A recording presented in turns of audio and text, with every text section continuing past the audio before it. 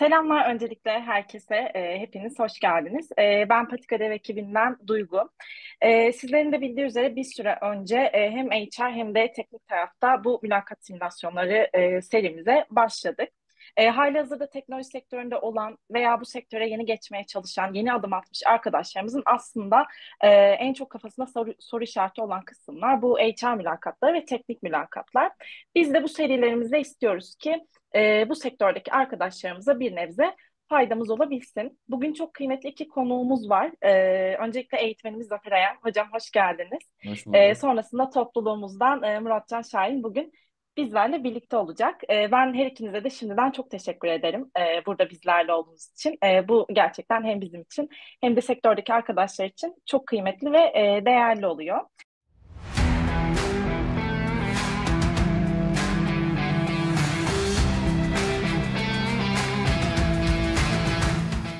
Ee, şimdi şöyle yapacağız. Ben sözü sizlere vereceğim. Arka planda sizlerle birlikte olmaya devam edeceğim ama tam bir böyle mülakat simülasyonu olması açısından sizleri baş başa bırakacağım.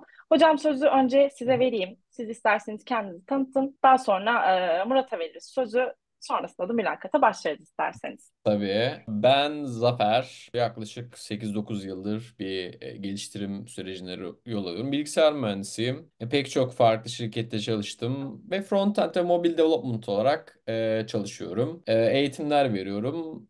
Makaleler yazıyorum ve konuşmalar yapıyorum diyebiliriz. Süper. O zaman Murat senden devam edelim. E, merhabalar, ben de Muratcan Şahin. E, yaklaşık iki senedir front-end developer olarak e, çalışıyorum. E, alaylıyım. Bilgisayar mühendisliği okumadım. Kendi çabalarımla öğrendim. Gerek Patika Dev'in e, dersleri olsun, gerek kendi dışarıdan aldığım dersler olsun. Dışarıdan e, sektöre katıldım diyebilirim. Bu şekilde. Süper. O zaman hocam başlayalım mı ne dersiniz? Başlayalım. Murat selam. Merhabalar hocam. Merhaba. Bize biraz kendinden bahseder misin? Neler yapıyorsun seni daha iyi tanımak adına? E, tabii ki ismim e, Muratcan Şahin. 28 yaşındayım. Yaklaşık 2 senelik e, bir front-end development tecrübem var. E, mühendislik mezunu değilim. İktisat mezunuyum. E, yazılımı tamamen kendi çabalarımla gerek Patika Dev'in eğitimleri olsun, gerek benim dışarıdan aldığım bir takım kurslar olsun, kendi çabamla öğrendim. İşe başlamadan önce kısa bir süre freelancer olarak çalıştım. Küçük bazı projelerde görev aldım. E, bu görev aldığım kısımlarda sadece e, front-end developer olarak ağırlıklı olarak görev aldım ama e, tabii ki bir projenin e, hazırlanması, geliştirilmesi, yayına alınması gibi kısımlarda da uçtan uca tek başıma görev aldım. Kısa bir freelancerlık deneyimin ardından da e, ilk işime girdim. Şu an yaklaşık bir iki senelik tecrübem var. Piyasadaki yaklaşık çoğu framework'e bir dokundum diyebilirim. Hepsinden tecrübeli değilim tabii ki. Ama e, çoğuna bir dokundum diyebilirim yani. Ha, React yazıyorsun galiba değil mi? Ben senin CV'ne bakıyorum şu anda. E, evet, React yazıyorum ağırlıklı olarak. Biraz da Next.js yazdım ama şu son e, geçtiğimiz bir sene içerisinde biraz uzak kaldım Next.js'e. E, Ne tip projeler geliştirdin? Özellikle mesela CRM gibi mi yoksa işte e, CMS görüyorum mesela Aposto'da. Evet, aslında şöyle çeşitli projeler geliştirdim. Şu an bir CRM panelinin üzerinde çalışıyoruz. Aslında şu an iki proje üzerinde e, aktif olarak görev alıyorum. Biri e, CRM paneli, diğeri de e-ticaret sitesi. Onu şu an çok geliştirme yapmıyoruz ama aktif olarak şu an bir ikinci versiyonunu yazmaya çalıştığımız bir CRM projemiz var. Genelde bu şekilde yani. Evet.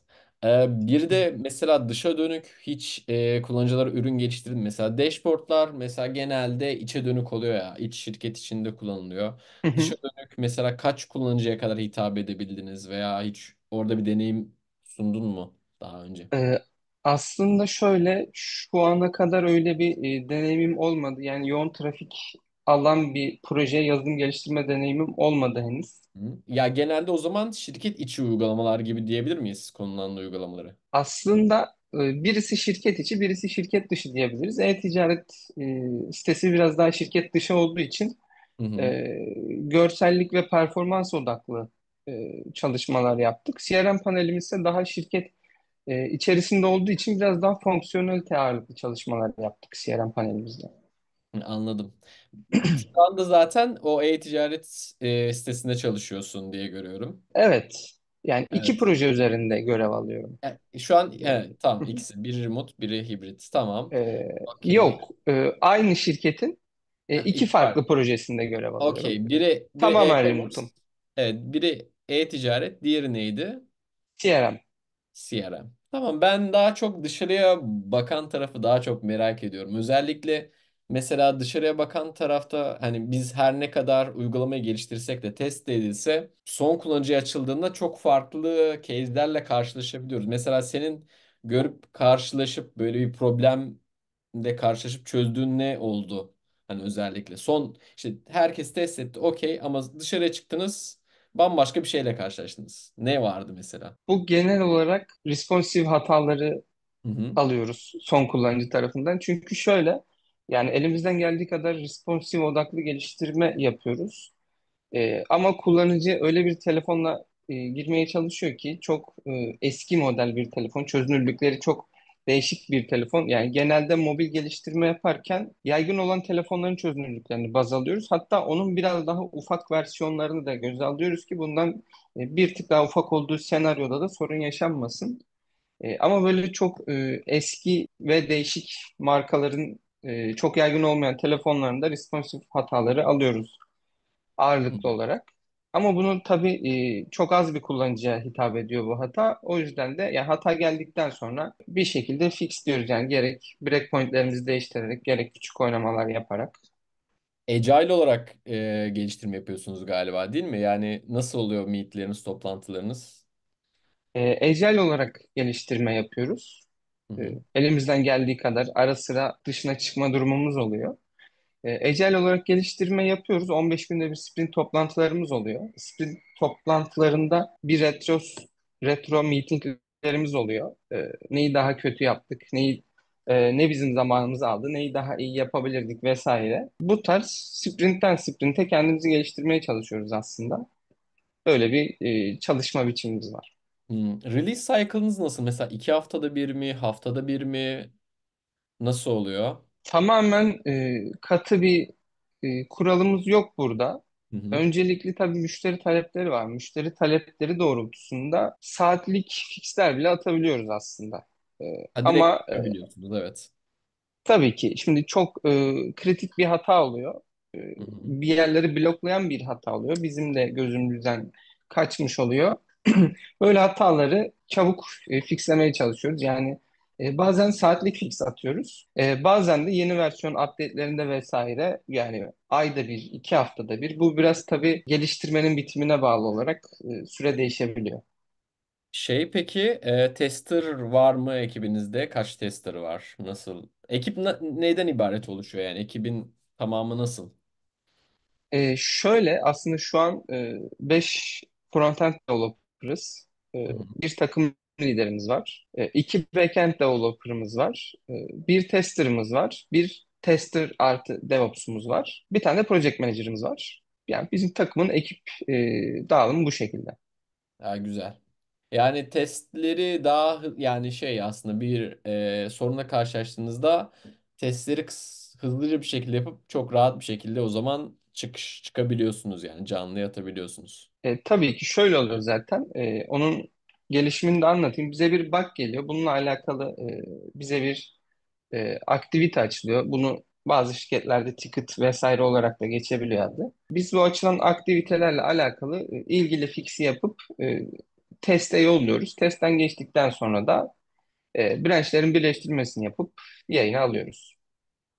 Evet. Peki Redux kullanıyorsunuz galiba. Redux'tan memnun musun? Ne düşünüyorsun Redux hakkında? Özellikle state management konusunda. Evet, Redux kullanıyoruz. E, şöyle aslında ben bir önceki projelerimde Context API de kullanmıştım. İkisi de e, Global State Management e, araçları. Ama tutmamız gereken state sayısı çok fazla olunca Context API okunurluk olarak kötü olabiliyor. Çünkü her bir state için app'i wraplediğimiz için kötü bir görüntü alabiliyor. Bizim de çok fazla state'imiz olduğu için Redux kullanıyoruz.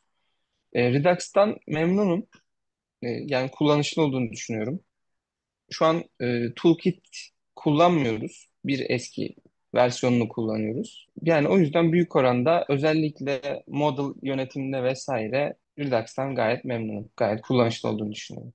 Evet. Peki E, mesela Re- Re- Redux Toolkit kullanmıyorum, kullanmıyoruz dedin de e, biraz oradan ilerleyelim. Özellikle e, mesela yeni çıkan teknolojileri takip ederken proje içerisine dahil etme konusunda nasıl bir yol izliyorsunuz? Diyelim ki Redux Toolkit kullanalım gibi bir şey geldi aklına. Bunu sunduğunda e, ekip nasıl davranıyor?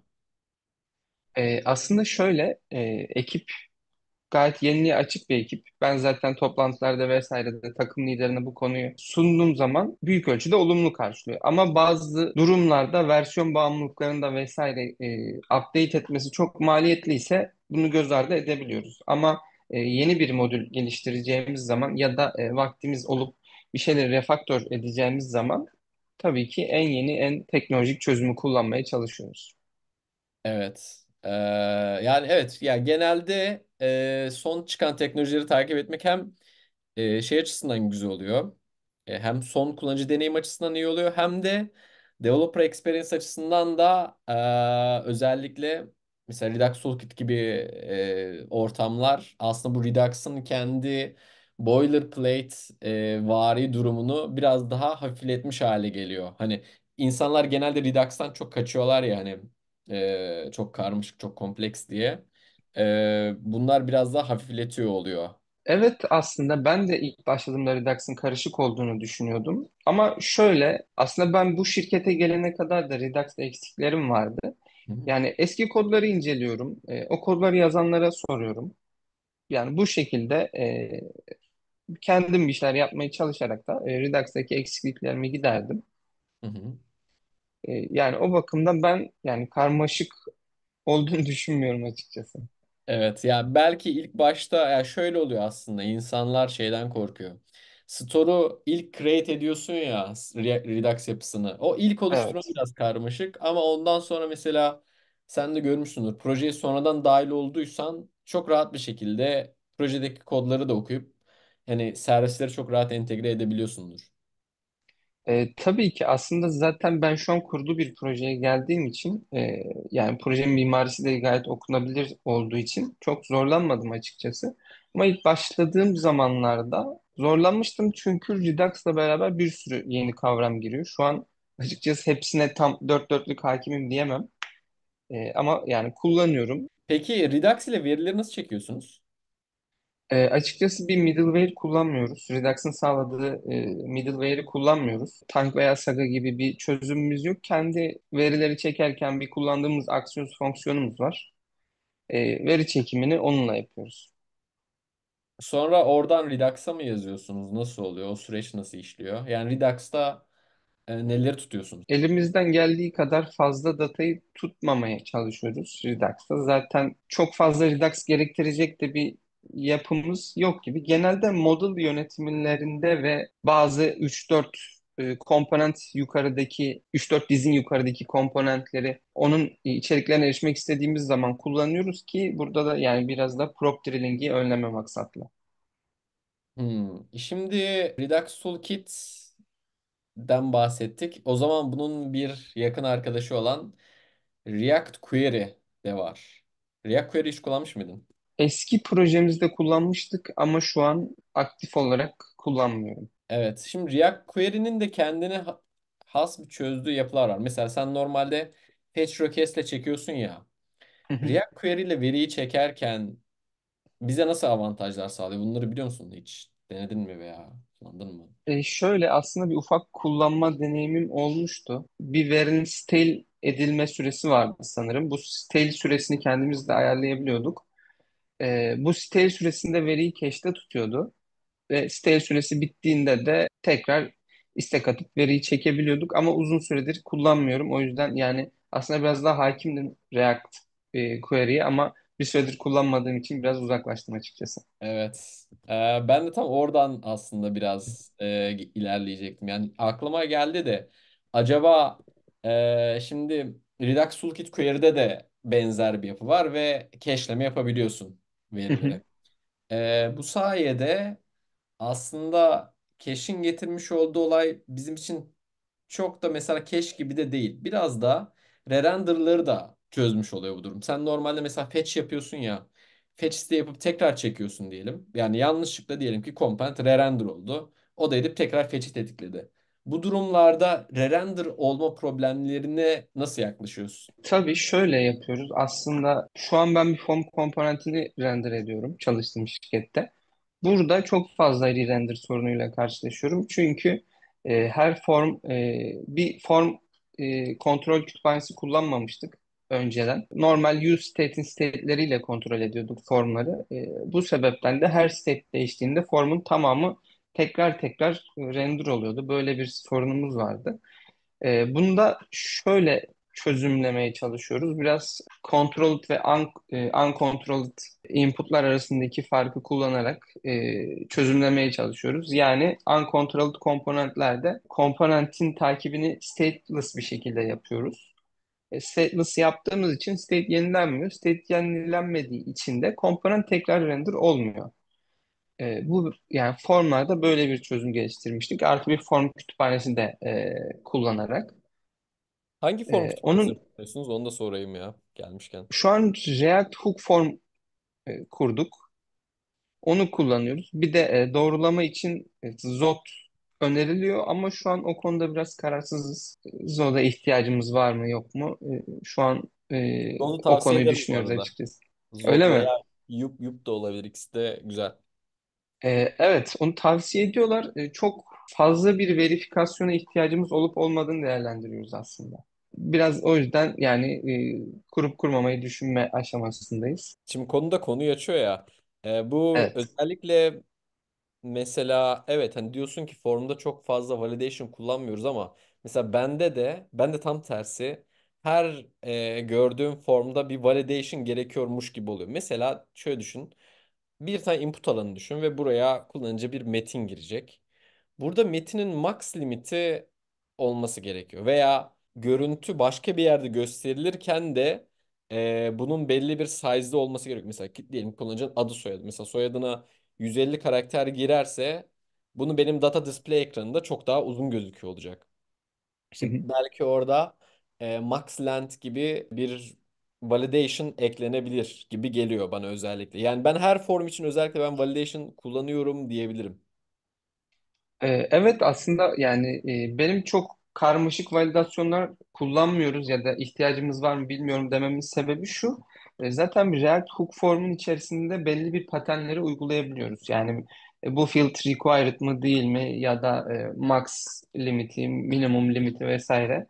E, regex paternleri de kullanabiliyoruz zaten kendi içerisinde. Bu yüzden e, ben açıkçası e, Zoda nerede ihtiyacımız olacağı konusunda e, tam kafam net değil. Ya şöyle, e, Zod sana bir validation şeması sunuyor ve sen o validation şeması içerisinde işte hata mesajlarını da bastırabiliyorsun, işte required olma durumunu yönetebiliyorsun. Aslında sana e, mesela Zod kullanmadığında yapacağın o büyük ihtimalle işte handle submit gibi bir metot içerisinde sen onu kontrol ediyorsun. Hataları veya eksikleri değil mi? Tam olarak öyle değil. Yani e, göndermeden önce kontrol etmiyorum. Hı hı. E, input'un kendisinde kontrol ediyorum. Yani Input'un input kendi orada evet peki yani custom bir hata mesajı basabiliyor musun? Input'un kendisine kontrol ederken. e, basabiliyoruz evet. Yani hatta bas basıyoruz. Şu an uyguladığım senaryoda da custom hata mesajı basıyoruz. Evet. Evet. Ya şimdi validation şema sunduğu için Yup veya Zod gibi kütüphaneler biraz daha şey sağlıyor. Daha değerli toplu olduğuna yol açıyor, olmasına yol açıyor. Ben bu noktada tavsiye ederim. Hani nasıl hani bir Redux yani Redux'sız nasıl uygulama geliştirebiliyorsak ama Redux'ın bize sağladığı avantajları var. Yup ve Zod veya işte form kütüphaneleri de aslında bize bunu sağlıyor. Bununla birlikte UI kütüphanesi kullanıyor musunuz özellikle hani hata mesajları için vesaire ne yapıyorsunuz? E, şöyle aslında Bootstrap kullanıyoruz ve Material UI kullanıyoruz. E, İkisi birlikte mi kullanıyorsunuz? Evet, e, Material UI aslında proje ilk başlanırken yaklaşık 3 senelik bir proje. Proje ilk başlanırken Material UI ile başlanmış ama sonradan e, yani Bootstrap'e geçilmiş. Ağırlıklı olarak Bootstrap kullanıyoruz. E, ama hata mesajları için de başka bir kütüphane kullanıyoruz. Şu an adını tam hatırlayamadım. Sağ Evet. üstte bir e, hata mesajı belir belli bir saniye sonra kendiliğinden kaybolan türden e, hata mesajları kullanıyoruz. Bazı yerlerde de input'un direkt altına hata mesajını Hı. yansıtıyoruz. Form gibi yerlerde veya küçük tek input olan yerlerde yani ekranın tamamına e, hata mesajı vermek istemediğimiz durumlarda da input'un altına küçük bir şekilde e, yazdırıyoruz hata mesajını. Evet çünkü bazı özellikle Material UI gibi kütüphanelerde de buna tümleşik olarak izin veriyor. Mesela Material UI'nin input'u e, kendi içerisinde bir hata mesajı sunabilmeni sağlıyor. Öyle customize edebiliyorsun. Bilmiyorum daha önce denedim mi de. Onlar da güzel bir çözüm olabilir. E, şu an ağırlıklı olarak Bootstrap tarafında çalışıyorum. Material UI tarafını çok kullanmıyoruz. E, hı. onun biraz e, sürümde geride kaldı açıkçası. Hı. E, çok fazla kullanmıyoruz. Bootstrap ağırlıklı ilerliyoruz. Bootstrap'te de böyle bir özellik var mı bilmiyorum açıkçası. Yok Peki sanırım. evet evet ya orada yine kompoz etmen gerekiyor da. Peki UI demişken Tailwind kullanıyor musunuz? Tailwind'e aşina mısın? E, Tailwind kendi site projelerimde kullanmıştım. Hı E, hı. ama şu an aktif olarak e, yazmıyorum. Hmm. Peki o zaman siz CSS'i ayrı yazıyorsunuz. Değil mi? Dosyaya CSS dosyasını ayırıyorsunuz. E, evet. SCSS şeklinde yazıyoruz. Yani SAS yazıyorsunuz. Okey. Peki şey Evet. çok olmuyor mu ya? Ben de mesela çok görüyorum. Mesela CS mesela bir UI'de bir eleman değişti. Git SCSS dosyasını oraya değiştir. Tekrar geri gel. Burada düzenleme yap gibi. Hani o git gel e, overload oluyor mu sende çok? E, aslında şöyle e, elimizden geldiği kadar dosya dosya ayırmaya çalışıyoruz CSS yapılarını. Yani bir tabii ki git gel oluyor ama çok e, uzun karmaşık yapıları olmadığı için hemen dosyanın yanında CSS dosyası olduğu için e, çok bir overload durumu olmuyor açıkçası. Ben hatta yani Tailwind'e de çok e, alışamadım. Biraz Hı yazdım hı. ama çok fazla class name'leri uzatınca yani ben açıkçası e, CSS tarafını daha toplu buluyorum. Çünkü tek bir class name'de istediğim tüm özellikleri aktarabiliyorum. E, Tailwind tarafında ise class name'leri sürekli e, yaza yaza biraz şey tarafı kirleniyor gibi hissediyorum e. Element'in class name tarafı biraz uzuyor gibi. Bu da hani okunabilirliği düşürüyor gibi. Yani tam emin değilim o kısımda aslında. Evet. Biraz soru işaretleri var kafamda. Evet evet. Ya şimdi şöyle aslında Tailwind'in olayı şu sen yeterince komponentlere böl ve ben o işi yöneteyim. Yani sen normalde işte diyelim ki yani bir satır bir HTML ekranı bin satır olacaksa o bin satır olmasın. Yani 100 satır, 150, 200 satır olsun. Ve sen bunları komponentlere ayı- ayrıştırdıkça e, bunu bu şekilde handle ederek e, aslında biraz daha derli toplu hale getiriyorsun. Bir de o CSS içerisinde mesela SAS dosyasına gidip gelmeleri de bitirmiş oluyor. Ve bu sayede e, yani kafada oluşan yükü azaltıyor diyebilirim yani. E, yani evet aslında biz e, zaten Bootstrap kullandığımız için tabii ki Tailwind kadar e, detaylı olmasa da biz Hı Bootstrap'in klaslarından da yararlanmaya çalışıyoruz. O zaten bu yükü bir miktar azaltıyor gibi aslında. hı. hı. E, geri kalan customize etmek istediğimiz kısımları da CSS tarafından hallediyoruz. Peki özellikle kullandığınız mesela temayı nasıl yapıyorsunuz? Mesela diyelim ki spacing'ler için kullandığınız bir yapı var. Mesela Tailwind'de şöyle yapıyorsun işte BG diyorsun mesela background. Red hı. 500 diyorsun. Benim daha önce tanımlamış olduğum kırmızının 500 tonuna map ediyor. Sizde böyle tanımlamış olduğunuz bir dizayn sistem var mı uyduğunuz işte bizim yeşil tonlarımız bunlardır, kırmızılarımız bunlardır gibi. Ee, var, e, evet. Ama tabii ki Tailwind, Tailwind CSS'inki kadar detaylı değil yani böyle 506 şeklinde değil vesaire. Ama e, örneğin bizim renklerimiz bir tema dosyamız var. E, bu tema dosyamızın içerisinde e, renklerimiz, e, border radius'larımız, bazı spacing'lerimiz, border color'larımız vesaire. Yani tuttuğumuz CSS ile alakalı constant'ları e, buradan alıyoruz. Font size'larımız özellikle. Buradan alıyoruz.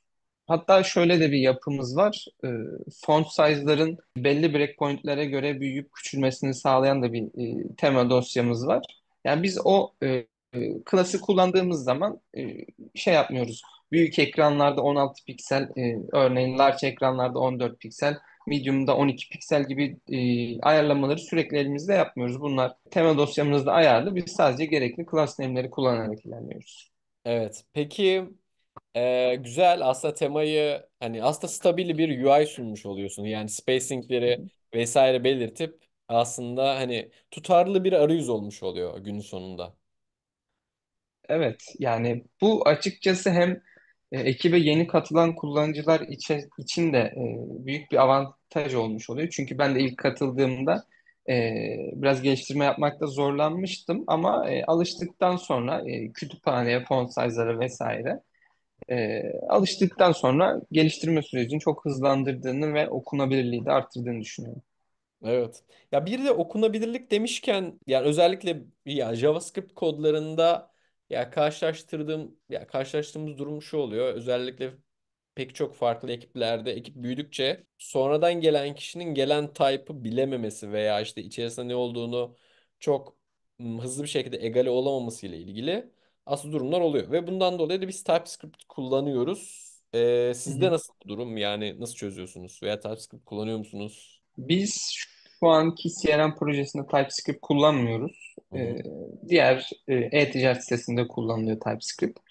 Ama yani yeni katılan arkadaşlar da yani zorlandığı zaman vesaire hemen e, yazışıyoruz bir şekilde. Kim yazdıysa ben veya başka arkadaşım e, hemen hızlı bir şekilde şunları şunları e, yapmalısın, bu parametreleri geçmelisin, böyle bir çıktı veriyor gibisinden bir küçük geçiyoruz arkadaşlar. Tabii ben de hiç bilmediğim şeyleri soruyorum bazen takım liderime ve yaz, e, yazan arkadaşlara. Yani bu şekilde geliştirme yapıyoruz. Peki ne düşünüyorsun? Mesela TypeScript kullanmalı mıyız projelerimizde? Veya işte çünkü kullanmayan şirketler de var. Senin yorumun ne burada? E, aslında yani type safety kod geliştirmek e, biraz önemli. Çünkü şöyle önemli. E, ben kendi yaptığım bir hatadan örnek vereyim. String bir e, daha doğrusu number olması gereken sayıyı string attığım için e, çalışmadı API. E, hata döndürdü sürekli ve ben bunu bayağı aradım. Uzun bir süre aradım. Halbuki orada TypeScript kullanmış olsaydık o bana bağıracaktı. Yani bunun e, number olması gerek. Sen bunu string vermişsin. Hemen daha e, hatayı development aşamasında e, veriyor olması bir avantaj tabii. Evet. Ya bir yandan da ya ş- bir de şöyle de eleştirenler var. Çok fazla elimize ayağımıza dolanıyor diye bir şey de var. Bilmiyorum. E, evet aslında ben de kullandığım zamanlar e, biraz zorlanmıştım.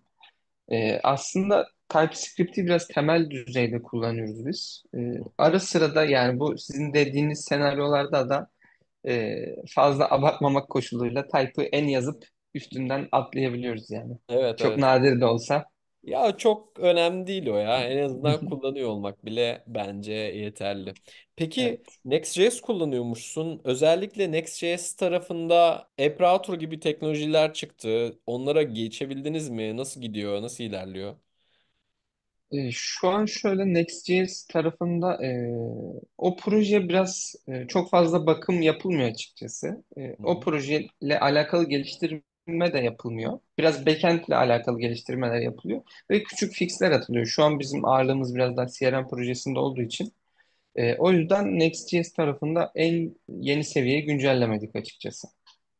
Evet. Peki hiç baktın mı nasıl sence yeni Next.js'in yeni yapısı nasıl? E, aslında şöyle, Next.js çok fazla güncelleme alan bir framework. Yani React'a vesaire nazaran sürekli neredeyse birkaç ayda bir e, güncelleme alıyor. E, birkaç yorumu okuduğumda biraz Next.js geliştirmenin giderek e, PHP'ye benzetildiği ve yani biraz full stack'in kapılarını da araladığı için Next.js kendi içerisindeki fonksiyonlar sayesinde gitgide yani full stack development'ın e, kapısını aralıyor ve şeyi de kaldırılacağı söyleniliyor aslında. E, front-end development değil de tekrar herkesin software development'a döneceği gibisinden birkaç yazı okumuştum açıkçası. Bir de Next.js ile alakalı da sevdiğim bir özellik var. Şöyle React Router DOM kullanmaktan bizi kurtarıyor.